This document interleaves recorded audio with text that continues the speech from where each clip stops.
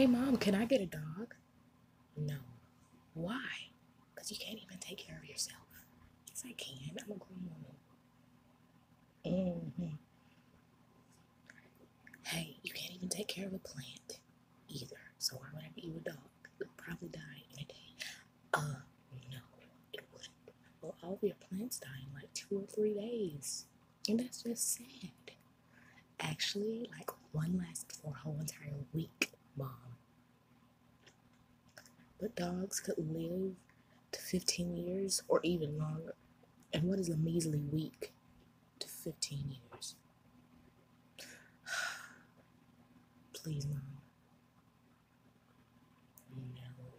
If I find you got a dog, I'm taking it straight to your auntie's. But she already has like 5 million dogs. Seriously, she only has one dog. She said she wanted another one.